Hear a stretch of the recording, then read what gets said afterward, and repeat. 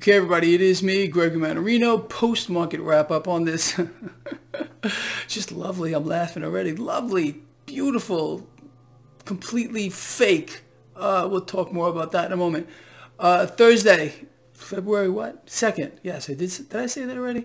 2023. The market is all well and good. Did you watch the NASDAQ today? How about just this week alone? Okay, forget about today. Let's remove today the NASDAQ is put on 5%. Today, another 3% for the NASDAQ. S&P 500 about 1, 1.5%. Fractional loss for the Dow Jones Industrial Average here, but none of that really matters here. It doesn't honestly matter when you have the environment we're in. It's This is seriously got to be something for the history books. We have a situation here. Focus on this for a moment. We have a situation, I'm going to laugh where the Federal Reserve just yesterday raised rates again 25 basis points, but meanwhile, the U.S. 10-year yield basically almost fell through a cliff. Central banks around the world raising rates, charging more for the debt they're issuing to everyone, including nations and everything else, and global bond yields drop. This is a Herculean effort by central banks, obviously, to keep rates suppressed. And I believe this is going, going to go on until I I don't know when. All right, until it, well, I do know when. When they're ready, when they feel, when these central banks believe that they've maxed out the system, they've created more slaves to the system, more dependency on the system here as the world economy continues to crater, that's when they're going to pull the plug on the market. But this could be a sustained period of time. From what I understand, and uh, I don't know if this is true, but Michael Burry did take down or his Twitter account doesn't exist anymore. I guess people are giving him a lot of uh, a lot of flack. Look, the man isn't wrong. Okay, Michael, I'm not calling you out. I said you were wrong in the short term. In the longer term, Michael is dead on. He's dead on accurate. This whole fantasy land, la la land, you know, not only elemental chart environment here is going to collapse. The entire, forget about the markets of the world, okay? The entire global financial system is going to implode on itself by design. This is what central banks are leading to. They, they need a new system the current system is dying. How do we know that? Because without the added liquidity that we're seeing here in the debt market, the uh, incredible amount of, of buying here in the debt market to keep rates suppressed. Understand, this this mechanism just doesn't go on autopilot. You understand? When a central bank, any central bank, uh, wants to get in here and play around with the yield curve, uh, play around with keeping rates suppressed. They have to get into the market. They can't just say it. So, and it's kind of interesting. I, I mean, seriously, uh, realizing that central banks are raising rates, but yields are dropping. Um, wow. Uh, can I get a wow, please? That's a new one. Um, but anyway, going back to, to Michael here, the man is correct. Uh, on a scale that maybe some of you understand, the system we're in now is phasing out. It's, it's being phased out in favor of a new system. Completely digital, 100% fiat. There's not a shot in hell or heaven or any place in between that we're going to be getting a gold standard back, a gold backed currency. It's not going to happen. Why? If you don't know already, because again, this would strip central banks of all their power. Let's just say, for example, if uh, world leaders, okay, the, world leaders are the central banks, but let's just say a, a president, okay, United States president said, you know what, we're done with central banks. We're going to go back to a gold standard or a wealth-based system. Central banks would die, all of them at that point, but that president would end up dead himself, okay? Central bank's power is unlimited at this point. Why? Just as an example, you know this already, the Federal Reserve has the full backing of the United States military, its whole arsenal, including its nuclear arsenal. They will point that in or out at anyone that tries to take away their power. A central bank's power resides in one thing, their ability to issue debt, period. It's a debt-based system. They've created this. We've allowed this to happen. Understand?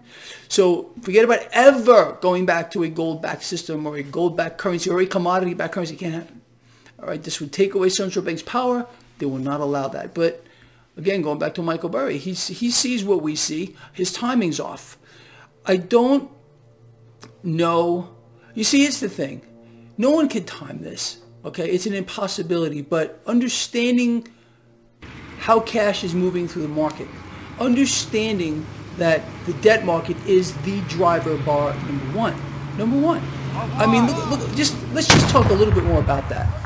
So, understanding the Nasdaq today, five percent just for the week, three percent today alone. S&P 500 putting on some gains as well. The Dow didn't do too much, fractional loss here. But could you imagine, for example, if we would have had the relative strength of the dollar play? Relative strength of the dollar did not play today. We had a knee-jerk higher. There was a little fear underlying what's going on here.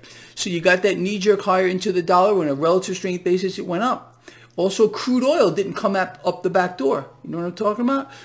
So you need these this unholy trinity here to, to really get this market going. If in fact we would have had, let's just say for example, a weaker dollar on a relative strength basis, if we would have had crude oil playing here, this this 3% higher on the NASDAQ would have been 6%.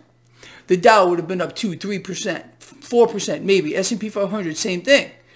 So understanding these little dynamics in, in play keeps you in the know. You realize what's going on here, but it's not going to change nothing or anything, should I say here.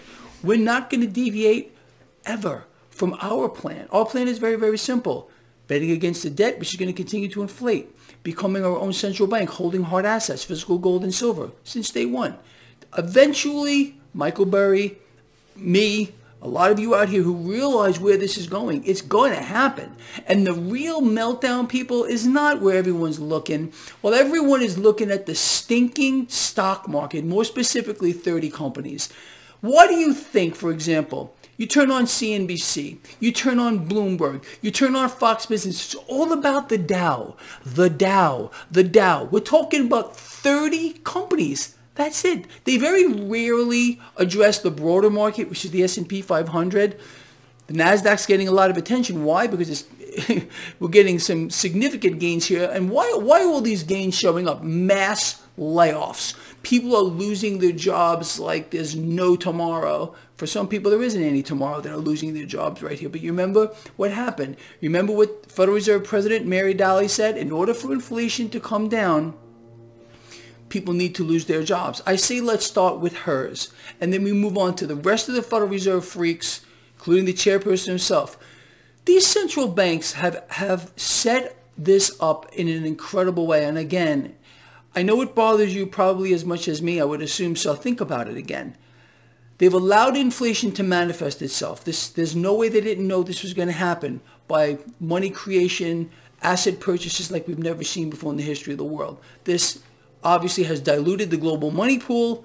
And now you have all these extra bills in whatever form they exist chasing a lesser amount of goods and boom, you get inflation. That's what the issue is. You understand? Now that they've created a situation, they want to charge you and me and everybody else and every nation on earth more for the debt that they've issued. In other words, we are paying for their so-called mistake. They made no mistake. This is all by design. You know that. This is what I'm talking about. This is a criminal organization of the highest possible order. Nothing comes close to this, okay? And it's a curse upon the earth. But where's the revolution? Where's the revolt? It's nowhere. So you got to play the game here. We weaponize the system against them. We know the game. We know what they're doing. So we bet against the debt. We become our own central banks. Uh, if you are so inclined, you get long the market here. You buy the market. I couldn't make this easier for any of you. I just released a whole new tra intraday trading system um, on an incredible scale. And they think, you see, and most people are just going to lay down and just take it, unfortunately. They're going to let themselves get sucked dry. They're going to deal with the environment because the mainstream media is telling them the Fed's fighting. They're fighting. It's a real battle. Really, it's a real battle. Then why on, on, why on earth or off this earth are they not contracting the money supply? because they're trying to convince you. Remember yesterday they, they had to dust off an old relic.